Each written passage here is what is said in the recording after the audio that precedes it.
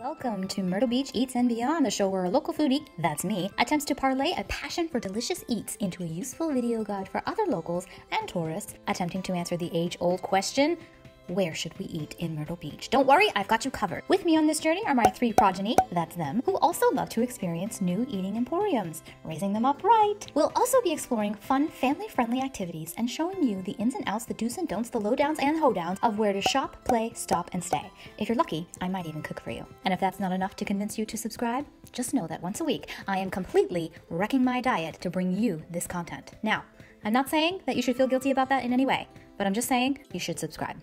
Hey friends, come along with us and check out US Foods Chef'Store on this episode of Myrtle Beach Eats and Beyond. I have a bit of a love affair with this store, and it all started with cheese. I know that sounds crazy, but it's true. I have a passion for cheese, particularly cheddar, mozzarella, provolone, manchego, goat cheese, feta, roquefort. Well, okay. It's seldom I meet a cheese I don't like. What can I say? But a while back, I was struggling to get a perfectly tasty, chewy, stretchy, melty mozzarella, and it was beginning to preoccupy my every thought. Why was cheese so melty and good when I got a cheesy pizza pie or mac and cheese at a restaurant, but at home my melty cheese just didn't seem quite so melty? Was it my oven? Or was it my ordinary grocery store cheese? The only way to find out for certain would be to conduct some proper experiments, which meant I would have to somehow procure some restaurant cheese, right? So then my mind became preoccupied with finding a restaurant supply store where I could, in fact, obtain this cheese. I had seen trucks delivering to restaurants from US Foods, and I kept meaning to look them up to see if I could somehow order with them, but before I had made good on my internet sleuthing, I was driving my way around Myrtle Beach, getting to know our new surroundings, when lo and behold, like a beacon in my cheesy darkness, a billboard appeared advertising US Foods Chef'Store, open to the public. I was so stoked to see if they carried cheese, but to be frank, it still took me quite a while to get the four of us there. One day, I was deeply in a mood a mood that incorporated an intense desire to go to a shopping club and buy something edible in a ridiculously large quantity. I considered Costco's and Sam's Club, but ultimately I decided today was the day to take a crack at Chef's Store, and boy am I glad I did. US Foods Chef'Store is located at 970 Cipriana Drive in Myrtle Beach, at the nexus where both Route 17s converge. Now that's some Twilight Zone sort of stuff right there, I'll tell you. Okay, now listen carefully. Don't make the same mistake I do every time I go shopping. You'll be tempted to walk through unencumbered and just browse. Convicted, you won't necessarily commit to commerce. Don't do it. I always do, and I always regret it by the time I'm standing in line to check out straining my bulging biceps with boatloads of baggage. Just grab a cart. I know they look different. I know they're a little weird, but you'll get used to it. I promise. Now, when I come, I always walk to the right and review the products they have set up here, but it's really just a distraction for the pain that I am about to walk into. The first time we came, we didn't know we would be walking into a New Hampshire winter, clad in our South Carolina summer clothing. New Hampshire. South Carolina. New Hampshire. After nearly freezing our bits off in the walk-through fridge, we wised up and brought sweaters next time. It's still pretty chilly if I'm being honest, but it's worth it because this is where we find the magic. This is where I get my giant bag of my favorite red bell peppers. This is where I found the biggest tub of hummus I've ever seen, ensuring my daughters and I can all dip our carrots and peppers to our heart's content without ever running out or bogarting too much from one another.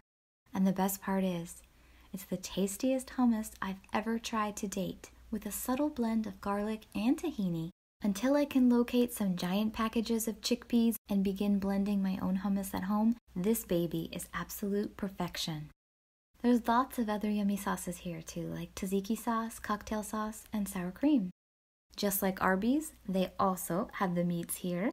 And this is where Mama found her cheese at last. We always grab a giant bag of carrot sticks to crack into, and then it's back into normal temperatures where we can gaze at the frozen Philly steaks, hamburger patties, meatballs, jalapeno poppers, and fried pickles. The beauty is, whether you need them to feed hungry customers or hungry children, either way, they're going to taste delicious. And I love that I can get large sizes that will keep my crew fed for a while before I have to go back to the store. By now, I'm on a practically first name basis with the produce folks at my local market. In the dry goods section, you can find spices galore, milk, cocoa powder, broth, tortillas, and pasta. There's salad dressings, canned sauces, and loads of veggies. This giant pouch of tuna is big even by our hungry standards, but I still kind of want to buy it. Coffee, tea, paper products, and food containers abound, and if you really want to be a chef, whether at home or in public, you can find all the tools of your trade here too. Cutters, slicers, dicers, and graters, strainers and drainers, mixers and separators, buckets, bowls, cups, scales, and bales. The real fun starts when you get home with your giant groceries. At least, that's where the fun starts for me. I cut up my giant loaf of mozzarella and started putting it through the paces. The first thing I wanted to do was make a giant mozzarella stick. Since I don't have a fryer or a pan big enough to fit, I baked it in the oven. Everything was going well until I decided I wanted the exterior a tad more crispy. Then it started melting outside the edges of the breadcrumb exterior. But that was okay with me because my nachos were ready to be topped with cheese, barbecue sauce, and pulled chicken, plus some sour cream just for good measure. Thank you, Lord, for this glorious food we're about to consume. Bless it to our bodies. Make us healthy and strong. Amen. Thank you Lord, for the food, bless it to our bodies, amen. God, thank you for this beautiful creation that mommy has made. Bless it to our bodies.